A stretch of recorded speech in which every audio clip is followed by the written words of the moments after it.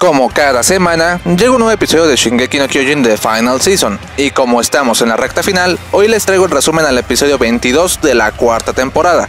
Así que pónganse cómodos, esto es Monkey Reviews y sean bienvenidos a un nuevo video.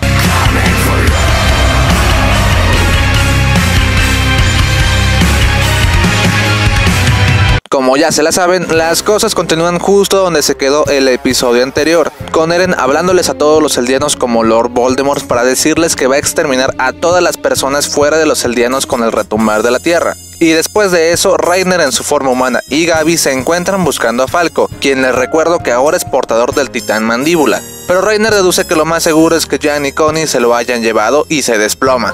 Además comenta que cuando Eren eliminó el endurecimiento de las murallas, también su armadura cayó, dejándolo expuesto a todo el desmadre ocasionado por los titanes colosales al ser liberados. Así que se pone a descansar en una casa y le pide a Gaby que vaya a buscar a los suyos para ver si pueden refugiarse de alguna manera. Pero Gaby planea que lo primordial es ir a salvar a Falco. Posteriormente se ve que efectivamente y Connie y los demás amiguitos de Eren sí tienen capturado a Falco, y Jan profundiza acerca de las acciones de Eren, puesto que a pesar de querer destruir al mundo entero, quiere seguir manteniendo a sus amigos y a los suyos a salvo, así que no es tan malo después de todo y solo busca la libertad de su pueblo.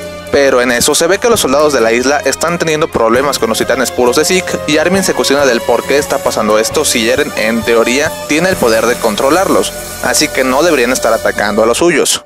Pero bueno, mucha especulación de nuestros muchachos por el momento. El conflicto se da cuando Jan comenta qué es lo que deben hacer con Falco, y él propone que alguien de los que se convirtieron en titanes puros sea quien lo devore, por ejemplo, el comandante Megamente. Pero inmediatamente Connie sugiere que se lo den de comer a su madre, quien como recordarán aún se encuentra convertida en titán en la villa de Ragako. Sin embargo, Armin sugiere no dárselo a nadie, ya que ese niño al ser candidato a guerrero es de gran importancia para Marley, y eso solo crearía más conflicto. Pero Connie se pone de nefasto y sigue insistiendo en que su madre lo debe devorar, así que aprovecha que justo un titán nos atacó para llevarse el cuerpo del pobre Falquito.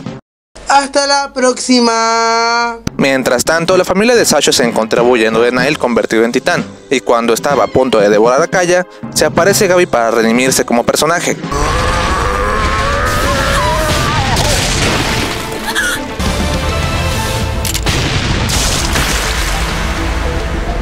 La mala es que llegan unos soldados de Paradis que pretenden matar a Gaby por ser un espía de Marley, pero en esta ocasión son Kaya, Nicolo y la familia de Sasha quienes terminan salvándole la vida diciendo que todos son una familia y que se dejen de preguntas pedorras. Posteriormente, Kaya le cuestiona a Gaby el por qué la salvó si según esto son todos demonios. Así que Gaby le contesta que ella es la verdadera demonio por siempre andar pensando nada más en sus intereses para llegar a ser guerrera sin contemplar la versión de las otras personas. Pero dejándonos de cursilerías por un rato, los nuevos reclutas le estaban pasando muy mal, hasta que llega el instructor Shadis Snape para salvarlos y motivarlos a que salgan a pelear y comienza una batalla de soldados contra los titanes puros.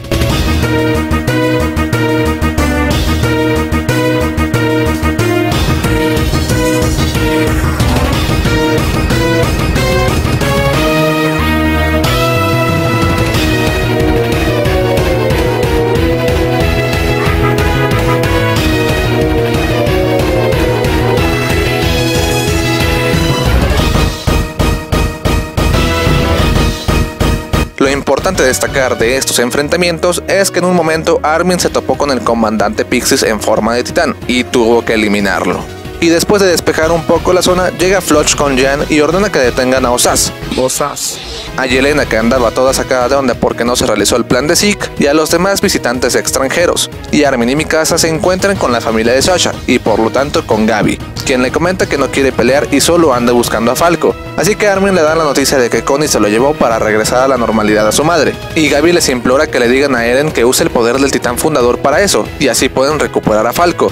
Pero la neta es que nadie está seguro de cómo se usa ese poder. Y si es tan fácil como dice Gaby, queda la duda de por qué Eren no regresó a la normalidad inmediatamente a todos los titanes que convirtió Zeke. Pero en eso, Gaby menciona que Eren fue capaz de eliminar el endurecimiento de Reiner. Y Armin se queda pensando si con la caída de los muros se deshizo también el endurecimiento de Annie. Y pues fíjate que nuevamente este muchacho latino. Y Annie después de tres temporadas está de regreso. Pero aquí termina el episodio.